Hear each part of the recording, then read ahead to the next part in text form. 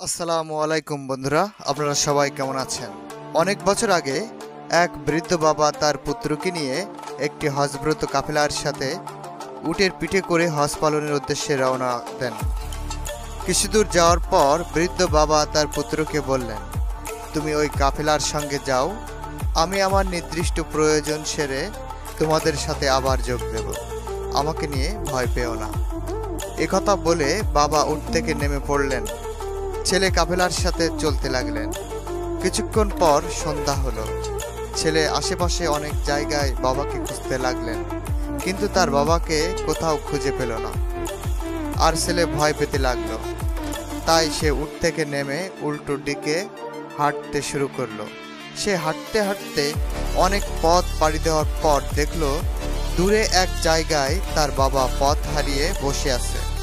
তারপর ছেলে দৌড়ে গিয়ে বাবাকে জড়িয়ে ধরলো এবং আদর ও সম্মান প্রদর্শন করে তার বাবাকে নিজ কাঁধে নিয়ে ছেলে আবার কাফেলার উদ্দেশ্যে হাঁটতে শুরু করল। এবার বাবা বললেন, আমাকে নামিয়ে দাও, আমি হেঁটে যেতে পারব। তখন ছেলে বলল, বাবা, আমার কোনো সমস্যা হচ্ছে না। তোমার ভার এবং আল্লাহর ইবাদাত আমার কাছে সবচেয়ে প্রিয়। একথা শুনে কোনো কিছু না বলেই বাবা কেঁদে ফেললেন। এবং বাবার চোখের পানি ছেলের মুখের উপর গড়িয়ে গড়িয়ে পড়তে লাগল। তারপর ছেলে বলল, বাবা, কাঁদছো কেন? বলছি তো আমার কোনো কষ্ট হচ্ছে না আপনার ওজন বহন করতে। বাবা বললেন, আমি সেই জন্য কাঁদছি না। আমি কাঁদছি আজ থেকে পঞ্চাশ বছর আগে। এই রাস্তা দিয়ে আমি আমার বাবাকে এইভাবে নিয়ে গেছি।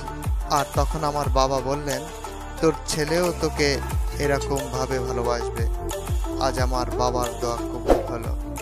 দর্শক, বৃদ্ধ বাবা মাকে আপনি যেরকম ভালোবাসবেন, আপনিও ঠিক তেমনটাই ফেরত পাবেন আপনার ছেলে মেয়ের কাছ থেকে। আজকের ইসলামিক শিক্ষা এটাই। ধন্যবাদ সকলকে।